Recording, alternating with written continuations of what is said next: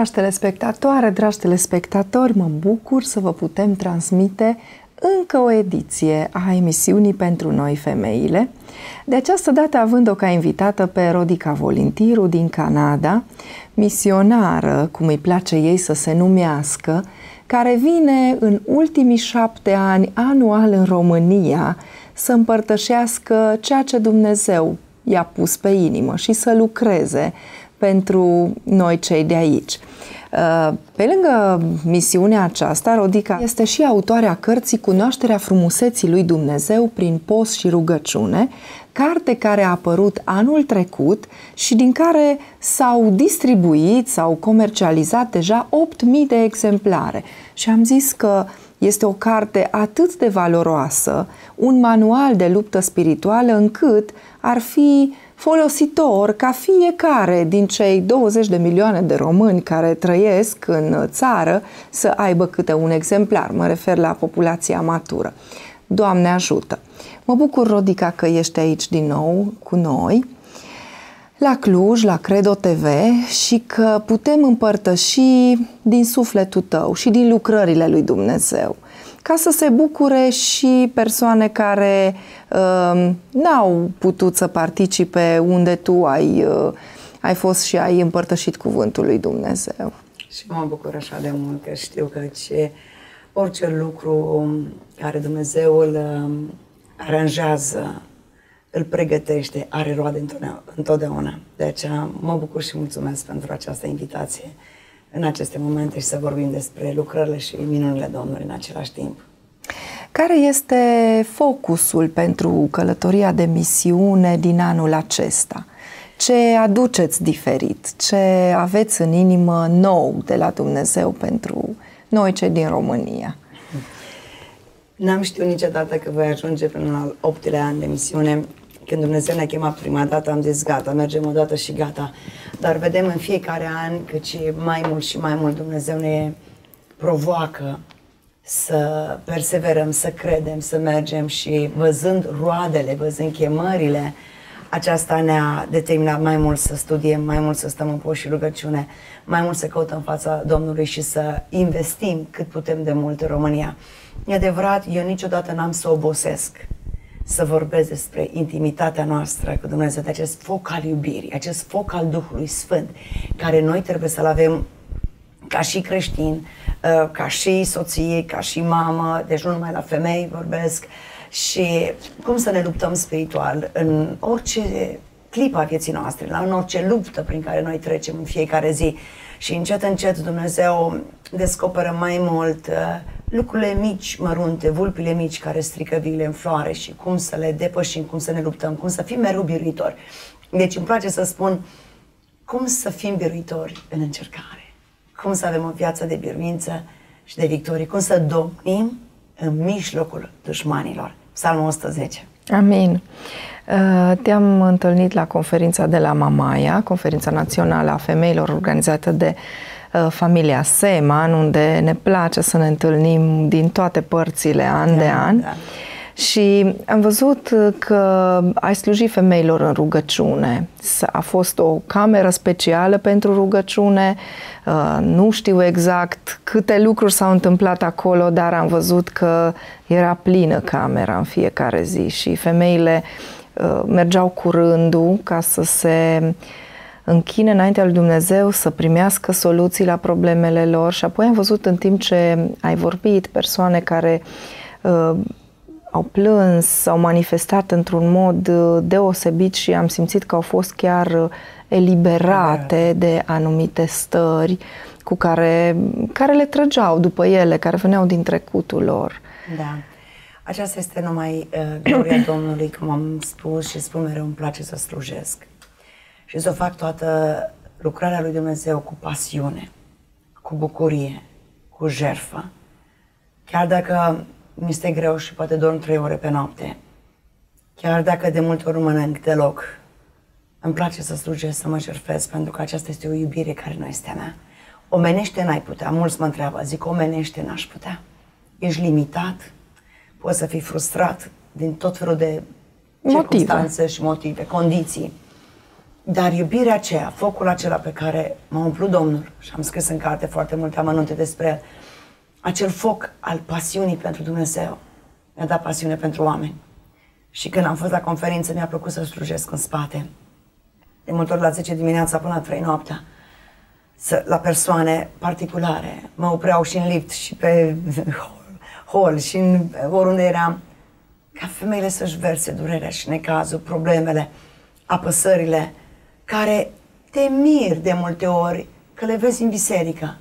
Cântă, se roagă, slujesc pe, în diferite departamente și totuși au cât un sac de jale. Și totuși au unghiuri sau secrete care nu pot să le spun la nimeni. Și totuși pe acolo vrășmașul atacă.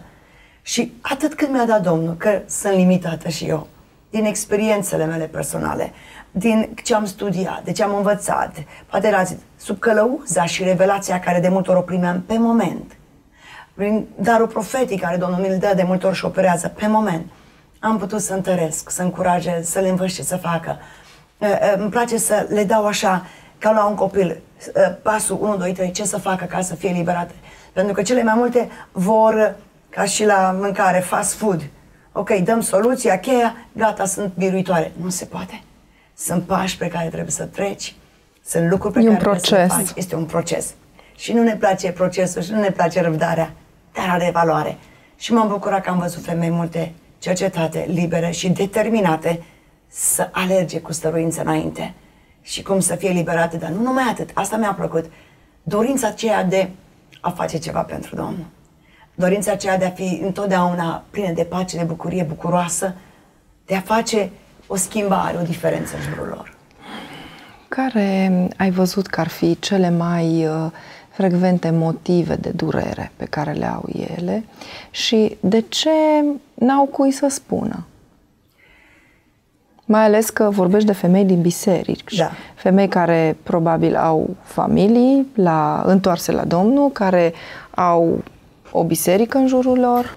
Am observat, pentru că și eu am fost acolo, multe dureri, multe apăsări în care nu știu să le identifice și nu găsesc cauza. Sunt răni și amărăciuni, frustrări și mânii care le simt și nu știu de ce. Și ca să faci o consiliere îți ia ore, poate chiar o zi. Neputând, eu mă duc la ceea ce am învățat că este una dintre păcatele sau întăriturile demonice foarte puternice în viața fiecărui om. Neiertarea. Și la prima vedere când spune, oh, pe eu iert, n-am nimic cu nimeni, imediat ne scuzăm. Dar hai să mergem puțin pe fir. Hai să ne vedem de ce sunt mânioasă. De ce mă mâni pe soțul meu? De ce mă mâni pe, peste, din orice motiv, când văd o neregulă în biserică, când văd o neregulă pe stradă, văd guvernul în ce hal se ceartă, văd tineretul plin de uh, cuvinte murdare și tot felul de stări. Imediat ne irităm. De ce? Aparent avem dreptate. Pentru că sunt lucruri anormale, sunt lucruri pe care aparțin întunericului. Dar hai să mergem mai departe, ne mai ducem încă o treaptă. De ce simți o amărăciune? De ce ești frustrată? De multe lucruri care ne înconjoară. Nu cumva datorită sistemului în care am crescut, familia în care am crescut, tradiția în care am crescut, familia în care am crescut, cu rănile cu care am crescut. S-a construit în noi, în subconștientul nostru, în mintea noastră, o întăritură. Un filtru, să-i spun mai pe românește, prin care văd circumstanțele diferit. 99% eu cred, fiecare vedem o problemă, dacă luăm și începem să uh, analizăm, analizăm vedem diferit. Depinde de prisma, rănile, trecutul prin care ne-am trecut. Și m-am dus mai departe, la multe suflete care au venit la mine să se deschide, să se descarce, că sunt nervos, sunt agitată, sunt nemulțumită, sunt frustrată, uite așa, să vedem și am găsit una dintre marile dureri și întărituri, neiertarea. De ce? Și acum să discutăm mai deschis și poate ascultătorii care ascultă în momentul acesta se poate identifica. Poate când ai fost mică, ai fost respinsă de părinți. N-ai fost dorită. Automat a s-a deschis ușa și un duc de inferioritate și de respingere a luat loc în viața ta, în viața mea. Mai departe, poate ai fost bătută, poate ai fost abuzată, poate ai fost violată, nedreptățită, înșelată, depinde că a fost la școală, că a fost la facultate, că a fost la servici, că a fost în căsnicie. Sunt lucruri emoționale, sunt stări care se produc în creierul nostru și în sufletul nostru și aceasta deschide ușa vrăjmașului ca să interfereze și să depună ca niște ouă, să zicem, de negativism, de răutate, de mânie. Pentru că noi nu am acceptat, noi nu am iertat, nu am rezolvat problema respectivă. Bine, dar noi nu suntem de vină noi că am fost respinse, că am fost uh, tratate așa și chiar tu zici în cartea ta despre o situație pe care ai trăit-o la rândul tău cu uh, mama ta care n-a înțeles anumite lucruri atunci când tu te-ai născut și ai avut mult de suferit din cauza asta. Da. Deci ce vină aveai? Că... Da, n-am avut eu nicio vină, într-adevăr, când un părinte, părinte greșește și dacă aș fi știut mai de mult ce bine era că scutea multe greșeli, păcate și suferințe din viața mea. Dar acum Dumnezeu în frumusețea Lui ne-a dat harul ca să cunoaștem mai mult și să înțelegem prin experiența altora, prin revelație divină, prin ce am citit și am studiat, că acest păcat al neiertării aduce frustrare, aduce nemulțumire, aduce mânie, aduce dezbinare, aduce suferință, aduce moarte chiar. Bolile din trupul nostru sunt cele mai multe din această cauză. ce ai de făcut? Că tu nu ești de vină că ai fost respins, ai fost abuzată pe nedrept, ai fost uh, tratată pe nedrept. Ce e de vină, părinte? Deci cu ce sunt eu de vină dacă așa mi s-a oferit? În cazul acesta, de aceea este un strigă la ora actuală pentru părinți, pentru leadership, pentru păstori. Când vezi pe cineva că sufere, îl vezi că este timid, timidă, îl vezi că are niște reacții mai dure, mai demonice, acolo e o problemă. Nu-l judeca la prima reacție. Trebuie să avem acel discernământ și discernământ și vreau să accentuez discernământ. Nu vei avea, indiferent câte școli ai, indiferent ce uh, uh, teologii ai și câte facultăți și masterate ai, dacă nu ai dragoste. Discernământul îl are numai oamenii care au dragoste.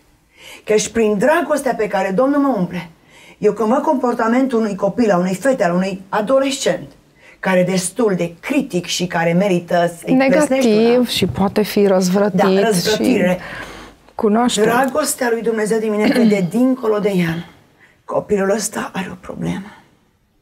Durerea lăuntrică el și-o ascunde. De ce?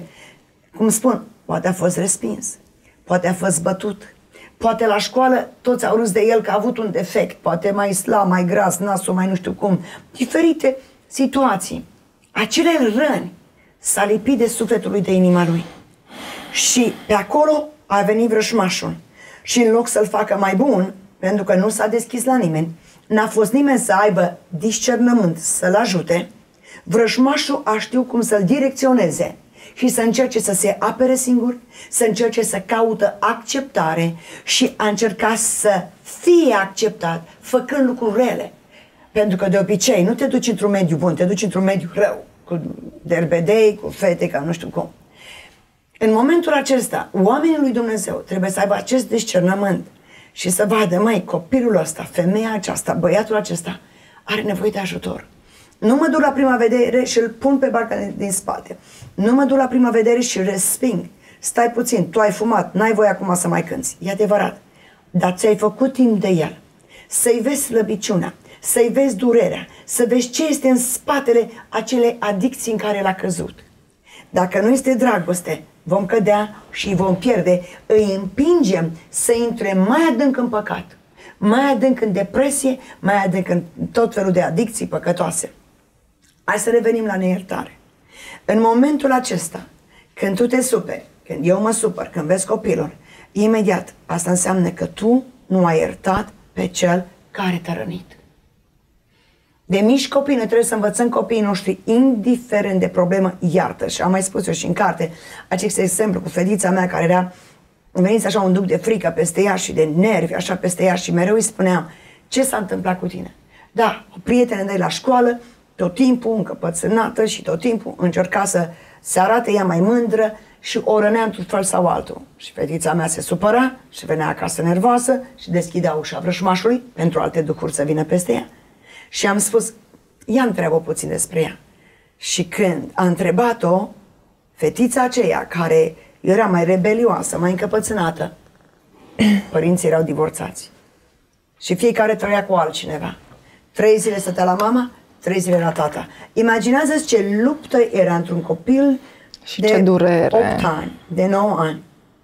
Cu mama și cu alt bărbat, cu tata și cu altă femeie. Când unii, când alții încercau să-i dea de toate, dar lupta ei care nu știa să o identifice, încerca să o acopere cu mândrie, cu rebeliune, râdea de unul, râdea de altul, se ascundea, se supăra și rănea.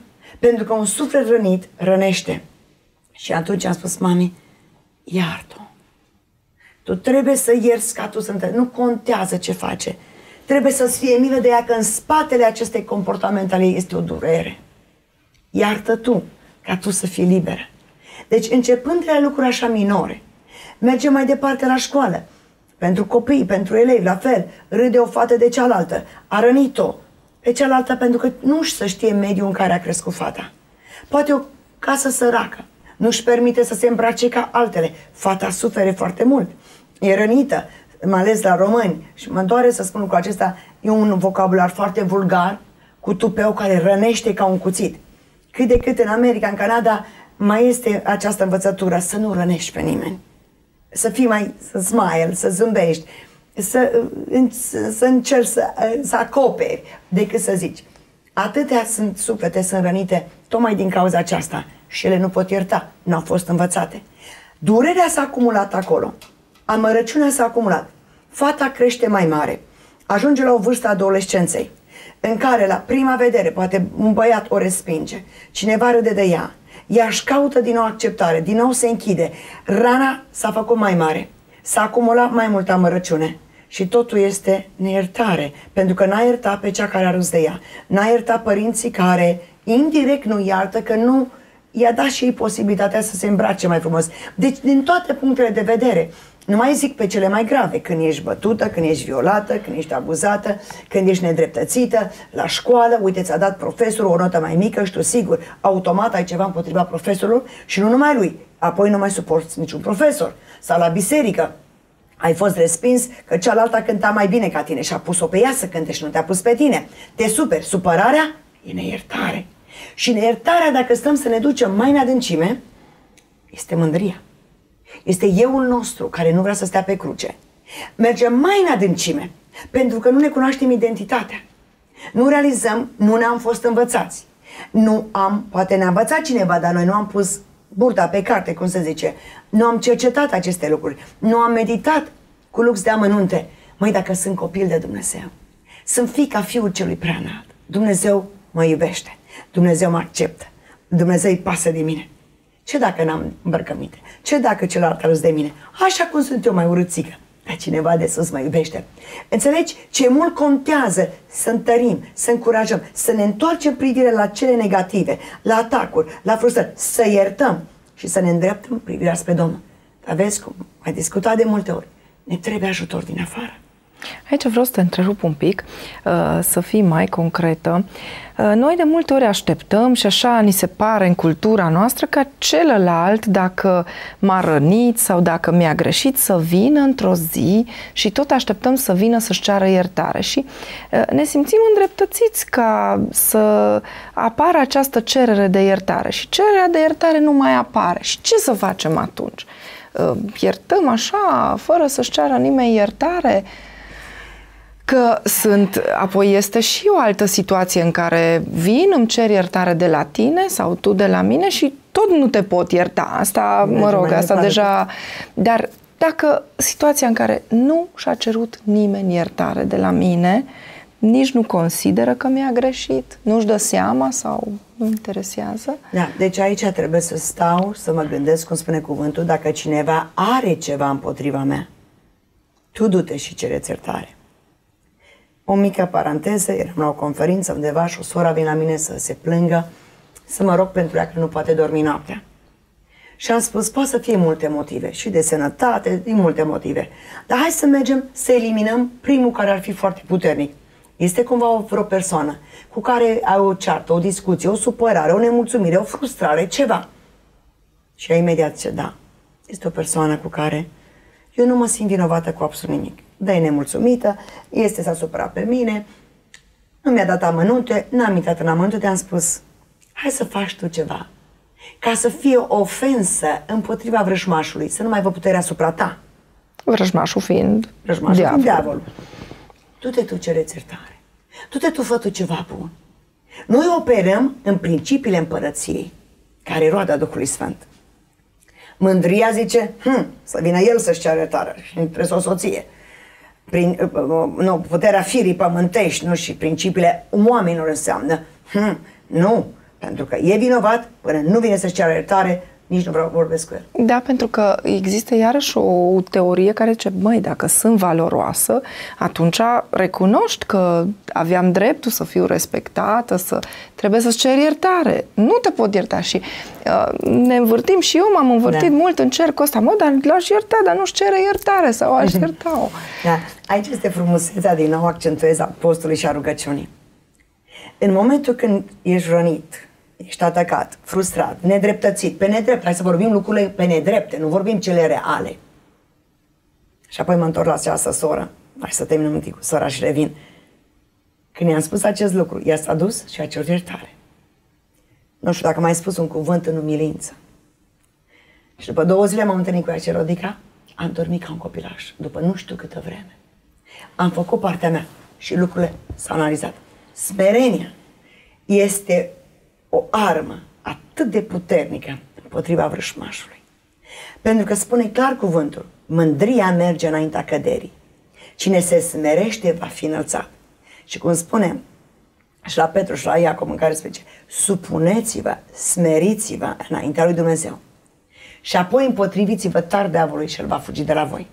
Deci, în momentul când eu aștept iertare, aștept să mi se ceară iertare, pentru că m-a josit, m-a nedreptățit, în momentul acela nu mai contează părerea mea, valoarea mea, nu mai contează numele meu, banii mei.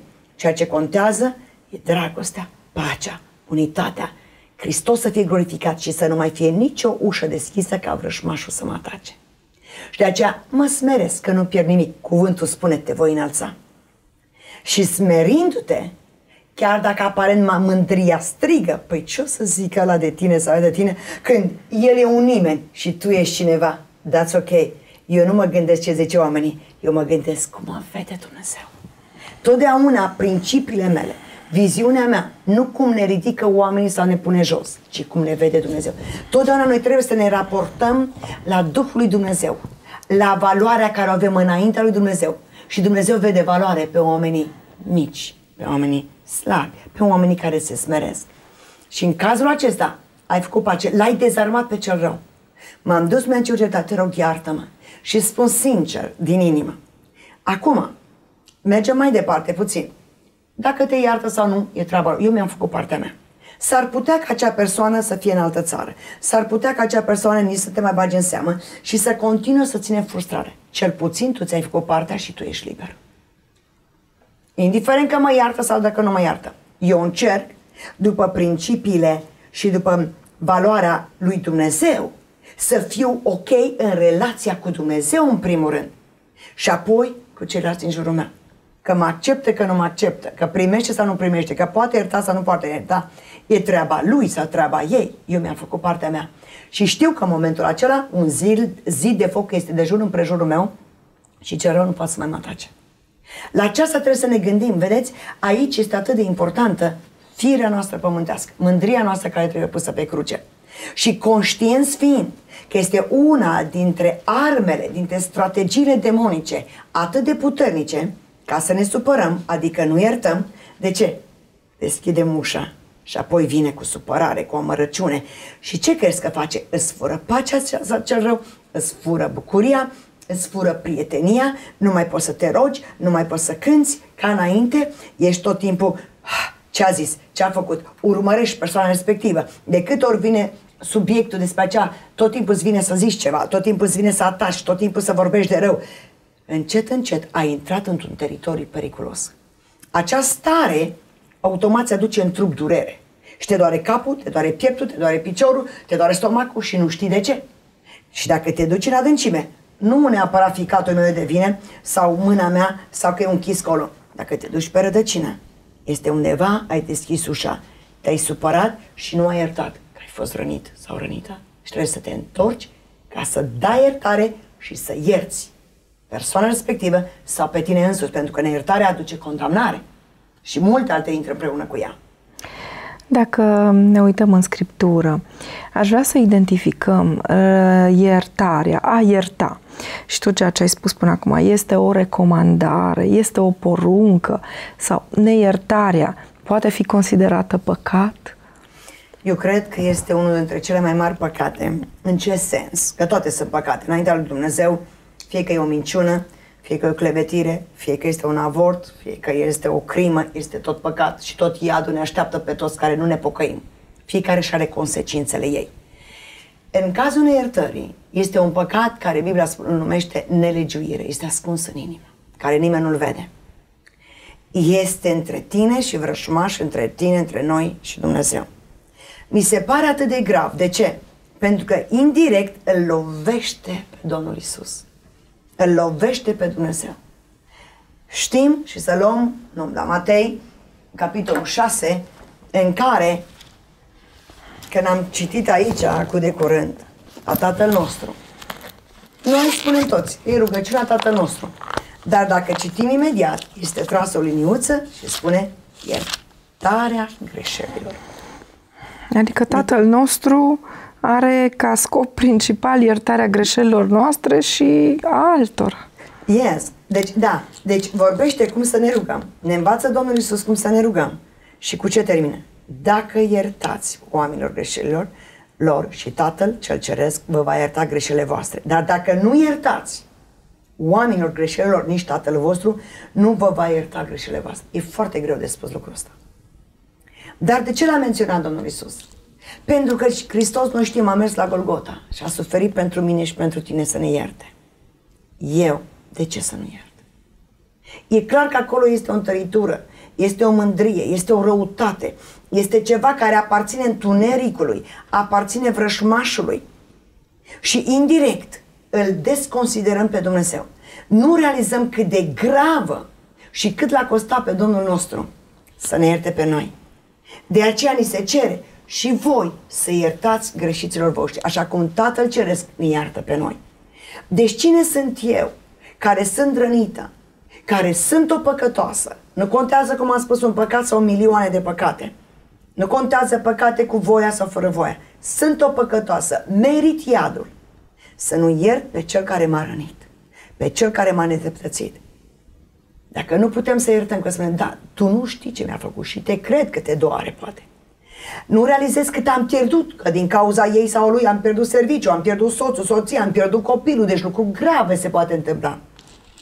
Cu toate acestea, mergem mai departe, la Matei 18, în care știm pilda robului nemilostiv, care a fost iertat, să zicem, milioane de euro. Și când a venit rândul lui, el nu a iertat 50 de euro. Ce spune cuvântul la versetul 34? Stăpânul s-a mâniat și l-a dat pe mâna chinuitorilor. Pâine va plăti tot. Și apoi 35 spune, tot așa vă, vă va face și tatăl meu, cel ceresc, dacă fiecare din voi nu iartă din toată inima pe fratele său. Și aici mă gândesc, de ce a zis fratele său? Toți sunt frați. Dar am văzut că dacă te rănește unul din cine știe de unde, nu te doare. Te doare fratele de trup care te rănește și fratele din biserică. Și aici din nou avem lecția. Că dacă nu iertăm, suntem dați pe mâna chinuitorilor. Ce înseamnă chinuitori? Tocmai vreau să... Da. Chinuitori înseamnă duhuri rele care sunt îngăduite de Dumnezeu. Nu că El vrea. Noi am deschis ușa.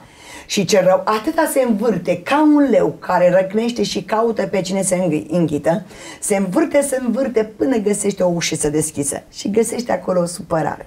găsește o nemulțumire, găsește o neiertare și pe acolo intră. Și el când vine, el nu vine cu mâna goală, el mai aduce încă șapte ducurele. Și vine cu frustrare, cu nemulțumire, cu mânie, cu răzbunare. Toate acestea deschid ușile mai larg altor demoni de boală să vină. De ce? Pentru că și corpul nostru, în momentul când se supără, deci aceasta a fost studiat și găsit de oameni de știință, corpul nostru, creierul nostru începe să emane toxine. Creierul se uh, produce inflamații și acele toxine ne otrăvește trupul. Și ne mirăm în momentul de apăsare. De ce sunt apăsat? Pentru că în momentul de stres, de mânie, de frustrare, care rădăcina e neiertarea, am lăsat inclusiv corpul să fie atacat și corpul nostru creează toxine. În momentul acela, acele lucruri negative, acele toxine, oprește creativitatea, oprește să mai gândim pozitiv și corect, să iert. De suntem tulburați, suntem apăsați, suntem nemulțumiți, bârfim mai departe și uite așa se deschid ușă după ușă. Am intrat, cum am spus mai devreme, într-un teren periculos. Și chinuitorii ne chinuie și te mir că n-ai pace, nu poți să dormi. Te mir că te doare spatele. Acum nu toate bolile sunt, dar tot știința au studiat pe bolnavi din toate punctele de vedere, adică tot felul de boli, între 85% 97% dintre boli sunt din cauza acestor stres, supărare, mânie, tot ce gândim negativ, pentru că automat am început să fim într-o zonă asta periculoasă a lucrurilor negative. Și începe să fim chinuiți. Și cunosc persoane care au venit la mine și au spus, uite, nu pot să dorm, uite, mă doare nu știu ce, uite, um, tot timpul sunt nervos sau nervoasă, uite, uite, deja s-a îmbolnăvit de diabet, deja s-a îmbolnăvit de... De ce?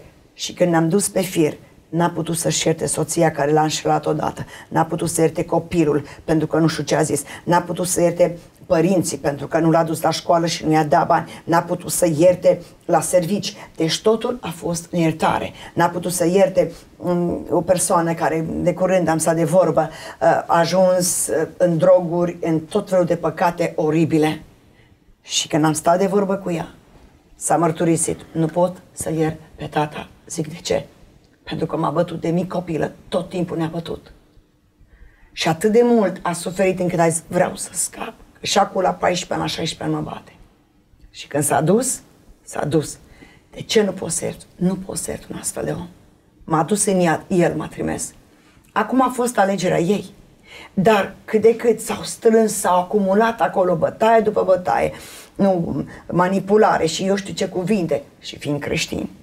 Și atât de mult încât nu pot să iert. Și când i-am spus, zic, hai să mergem la Golgota, la Domnul Isus, nu a putut, zic, tu ești dată pe mâna chinuitorilor.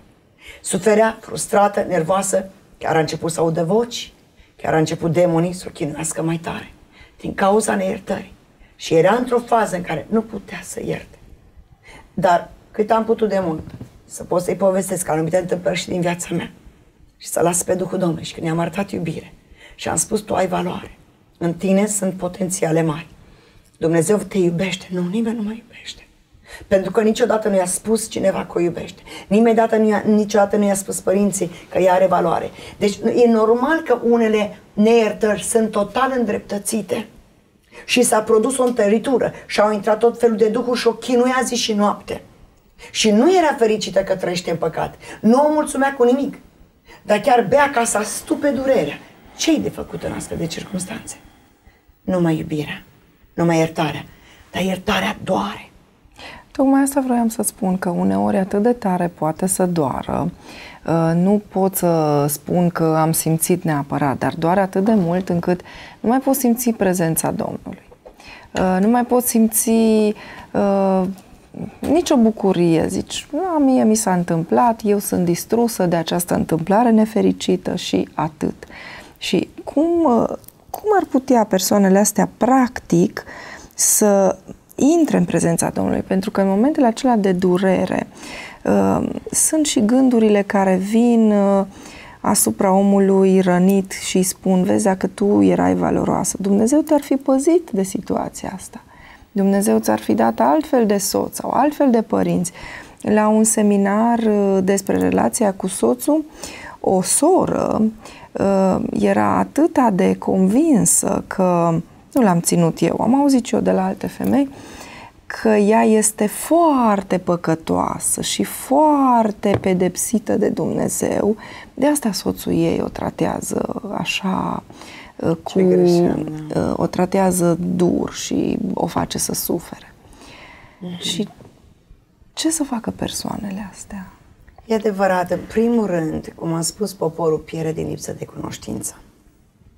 Nu există păcat sau păcate care să nu avem salvare, să nu avem iertare. Sângele Domnului Iisus ne iartă, ne curățește de orice păcat. Și acum am vine și fac o paranteză.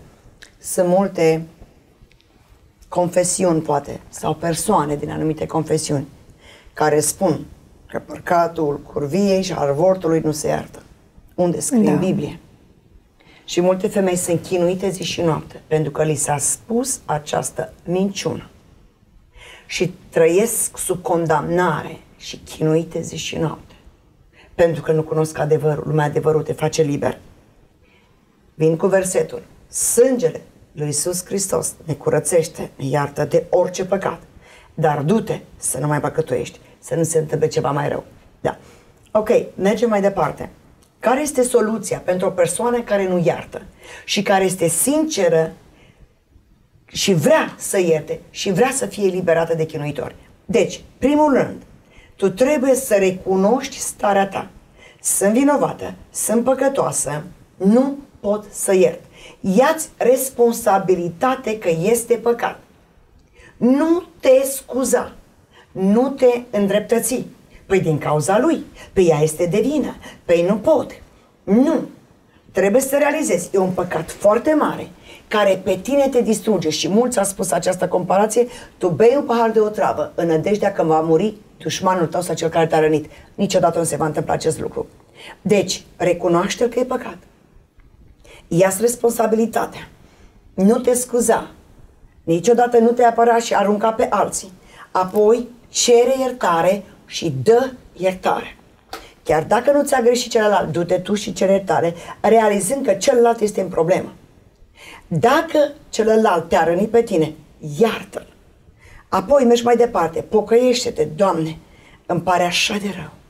Așa de rău îmi pare că atât, atâția ani de zile mă zbat în aceste chinuri.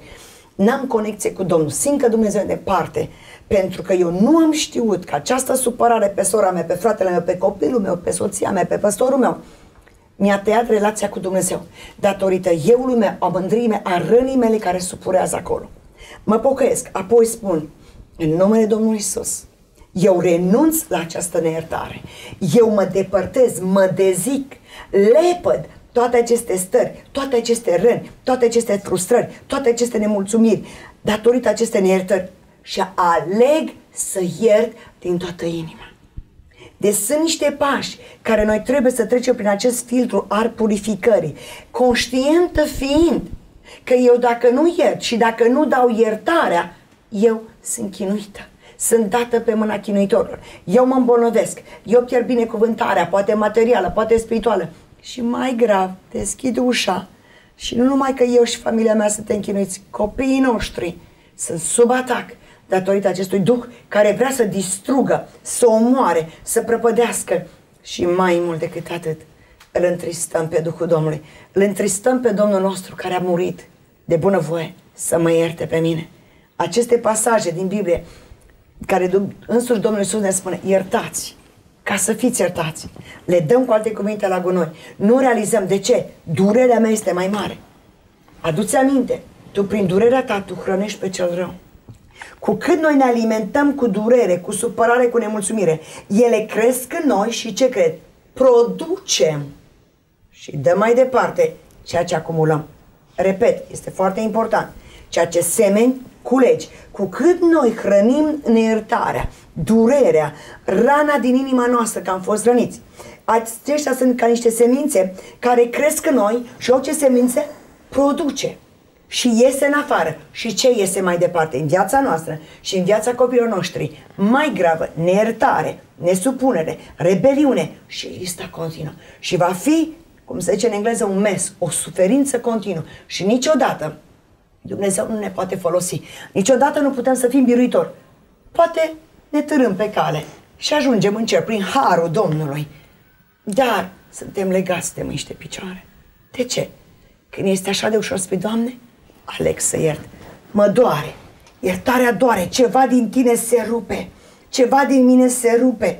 Dar în momentul când privim la Golgota și vedem pe Domnul Iisus Sfânt, neprihănit, Fiul de Dumnezeu, cum e bătut, cum e biciuit, cum îi pune coroana în cap, cum îi bate cu ele și zice, Tată, iartă că nu știu ce fac. În momentul acela, privind la El, nu la tine, te prăbușești cu fața la pământ și spui, da, Doamne, realizez că eu n-am de luptat împotriva oamenilor, ci a duhurilor care vrea să mă distrugă pe mine și pe sora mea. Alex să iert și iert din toată inima. În momentul acela să spală păcatul, ți să ia povara și să reface conexia între tine și Dumnezeu. Atunci poți să cânți, atunci poți să te rogi și atunci o nouă biruință și victorie va veni peste viața ta. Ce ai putea să spui despre autocompătimire, automângăiere? În momentul în care am iertat cu adevărat, mai avem timp de așa ceva? Mai rămâne loc? Autocompătimirea este lipsa de cunoaștere a identității noastre. Este un duc de inferioritate înăuntru nostru, din nou de respingere. Este un duc de amăgire, în care ne concentrăm doar în noi. Eu nu am, eu sunt urâtă, eu sunt bonlavă, pe mine toți mă rănesc. Și vreau să mă accentuez aici. O rană atrage alte răni. Un om rănit este mai mult rănit și mai mult la rândul lui când vine vremea rănește. În momentul când eu am iertat, din toată inima, realizez identitatea mea în Dumnezeu care, cum am mai spus mai devreme, totdeauna eu mă raportez la Dumnezeu, la cuvântul Lui, la valorile care sunt în Biblie, cine sunt eu în Hristos, chiar dacă sunt fică de Dumnezeu, chiar dacă sunt preot, sunt împărat, sunt prințesă, eu sunt smerită la picioarele Domnului și nu mi este greu. Pentru că știu ce valoare El a pus în mine. Știu cine este Dumnezeu și că iubește smerenia mea. Și în momentul acela nu mai îmi plâng de milă. În momentul acela nu mai caut acceptare. Nu dau din coate ca să ies eu în evidență, să ies eu în față, să cer acceptare, să cer onoare, să cer să fiu ridicată pe un scaun mai tare sau mai presus de bărbat, sau mai presus de soție, sau mai știu cum în biserică, sau la business, sau oriunde Eu știu cine sunt în Hristos. Eu știu locul meu și limita mea în același timp. De aceea mi este foarte ușor să depășesc orice problemă. Îmi este foarte ușor să merg mai în adâncime, dar cum am spus, există un timp de vindecare, nu se întâmplă peste noapte. Există un timp de disciplină, de perseverență, există un proces de prelucrare și de creștere și de maturizare ca să vezi toate lucrurile cu alți ochi. De aceea ai nevoie de învățătură, ai nevoie de sfat, ai nevoie să cauți, ai nevoie să te smerești, să nu-ți fie rușine, să nu fie rușine, adică am nevoie de un sprijin ajutor. Uite ce mi se întâmplă, că eu cred că în mine și mi-a plăcut câte sorori, eu cred că am o mândrie mare, făcea o soră. Cum să scap de ea? M-am pocăit, am zis, nu pot să accept anumite lucruri și am zis, mărturisește-o public. Este, îl dai pe față pe vrăjmaș. L-ai depistat, pentru că nu tu, tu nu tu e, nu tu te nu pui tu jos. produci din răul contră, acela. Din ci... contră, tu crești. Și alții apreciază. De multe ori am mărturisit păcatele mele public. Atât de mult au venit persoane, să zicem, în alta societate, cu valori puternice. Atâta nevoie am avut, zice, de vulnerabilitatea ta pentru ca să înțeleg că și voi care sunteți mai sus și vă folosește Dumnezeu, sunteți slabi și puteți greși, dar vă smeriți, vă pocăiți și învățați în greșeli. Și ne supunem sau ne se supunem. supun acelorași Exact. legi. Da. Uh, se întâmplă să iei decizia să ierți. Că, așa cum ai spus, Da. sunt învățături care spun decide să ierți, ține Alege minte să momentul ierți, da. și așa. Dar după un timp se poate iarăși să simți aceeași durere și să te gândești, măi, n-am iertat. Dar eu am decis, dar totuși mă doare, totuși nu m-am eliberat. Ce înseamnă? Înseamnă că n-am iertat, că mai vine și gândul că, uite, n-ai iertat, tu nici nu vei putea ierta, că prea de tot ți s-a întâmplat. Înseamnă că n-am iertat sau că suntem în procesul de vindecare. Cine au pornit pe drumul acesta, poate că au nevoie de un pic de clarificare. Deci iertarea nu că e de mai multe feluri, dar sunt diferite de la rană la rană. Poate să fie doar o vorbă pusă, spusă în plesneală și tu că ești slabă sau mai rănită sau așa, ai luat-o, ai înghițit-o și, oh, de fapt, ai luat-o și nu mai vrei să vezi persoana respectivă sau deja începe răstălmăcirea. Sunt răni care au consecințe grave, cum am spus mai devreme, poate chiar divorț, poate chiar moarte, poate chiar pierderea banilor, chiar pierderea reputației, deci lucruri grave. Normal că depinde de gravitatea păcatului, este consecința sau timpul de vindecare. Acum, am mai spus de multe ori, de exemplu, ai o prietenă, hai să vorbim noi femeile, că suntem la acest subiect, și ai avut o prietenă care a fost așa, ai iubit-o, ai respectat-o, a fost o relație sfântă între voi. Și vorbesc și din propria mea experiență ca să înțelegem, da? Am avut o prietenă care mi-a fost mentor și am, de la ea am învățat foarte multe lucruri, foarte, foarte bune. Numai lucruri bune și frumoase. Dar a venit o vreme când, din anumite motive, care le-am înțeles că chiar au fost îngăduite de Dumnezeu, ca relația noastră să se rupă. Am fost tare rănită de prietena mea cea mai bună. Am simțit ca un cuțit care mă taie și mă junghe, tocmai pentru faptul că am ales să plec în misiune. Erau diferite păreri, opinii cu privire la misiune, la femeie, la mamă și așa mai departe. Nu intru prea mult în amănunte. Am simțit răni și cuțite cum am simțit în viața mea. Niște răni în care l-am însimțit puțin pe Domnul Isus.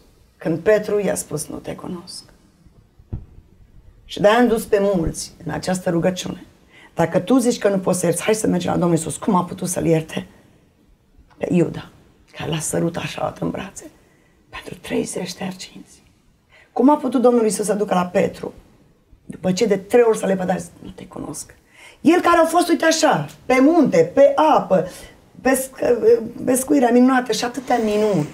Deci clar că a fost o trădare. A fost o trădare. Și Domnul a îngăduit-o și în viața mea. Puțin.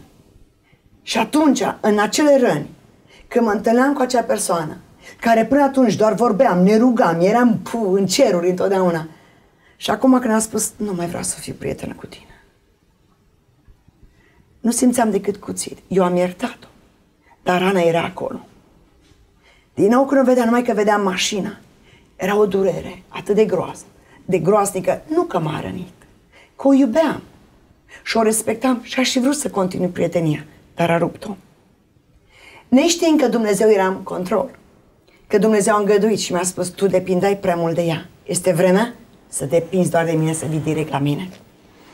După un an de zile de rană, a durat un timp de vindecare, Dumnezeu a îngăduit să mă vindec și relația noastră este când de când ne vedem, ne vizităm, ne rugăm, dar nu mai este aceeași ca la început. Nu este o dependență. Nu mai este ce a fost, dar sunt vindecată, iertare, de câte ori văd, nu există, că de multe ori mm, simți ceva aici. Nu mai există. Deci vreau să zic, pentru multe persoane este un proces.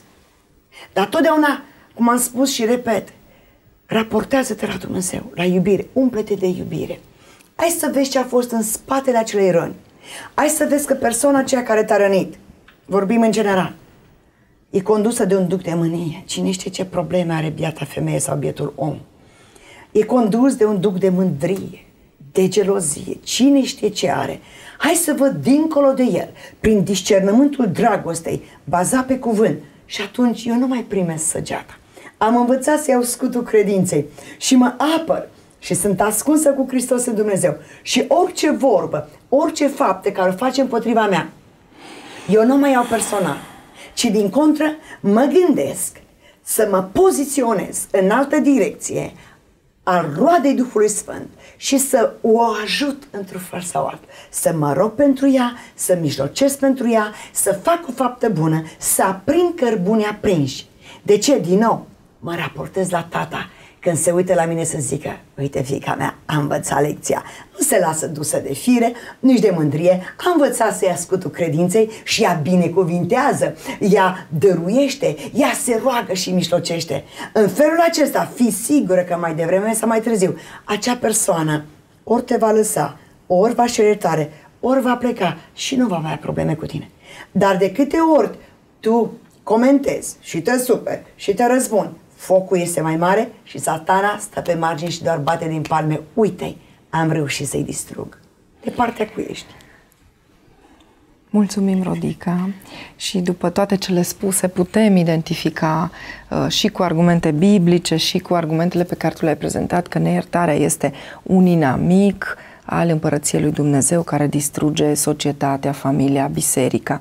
Și te-aș invita foarte scurt, pentru că timpul a trecut, dacă vrei să faci o rugăciune pentru persoane care ne-au ascultat și vor să treacă pragul în cealaltă parte, vor să umble pe ape, vor să facă ceva ce n-au mai făcut până acum în privința iertării.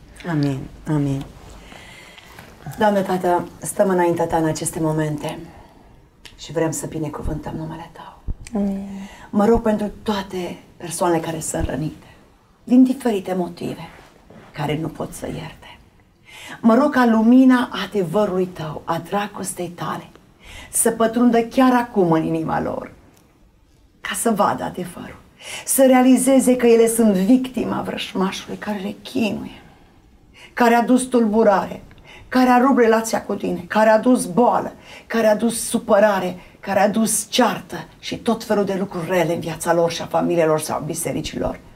Doamne, mă rog să le dai harul să spună, aleg să iert și iert din toată inima. Și nu numai atât că iert, îi binecuvintez, Doamne, pe toți care m-au rănit. Indiferent de rană, venim, Doamne, cu ei înaintea Ta și îi pune la picioarele Tale, Doamne. Toate rănile, toate poverile, că Tu e singurul care poți să ierți, Tu e singurul care îi povară, e singurul care speli rana.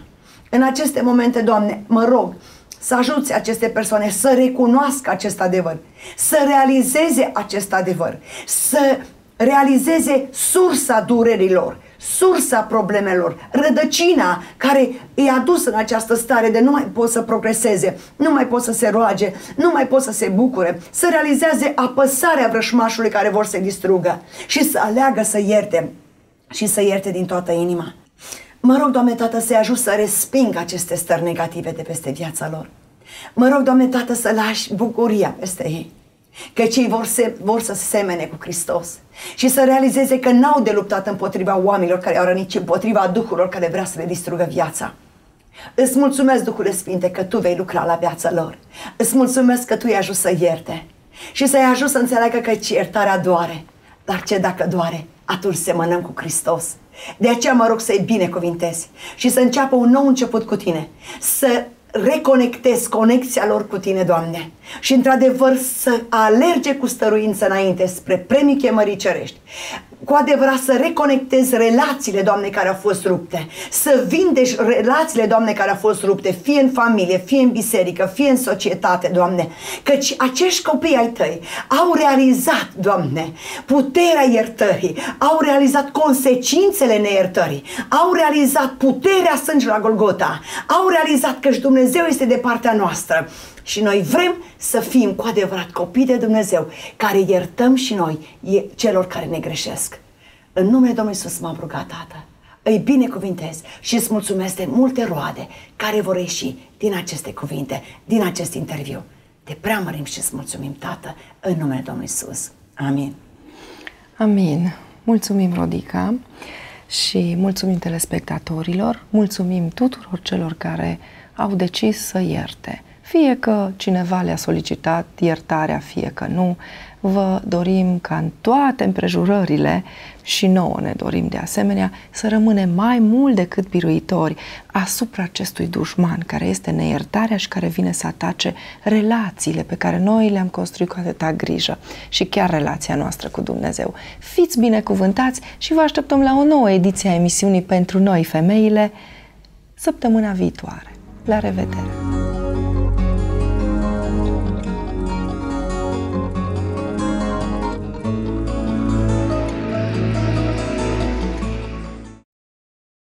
O emisiune sponsorizată de Matero.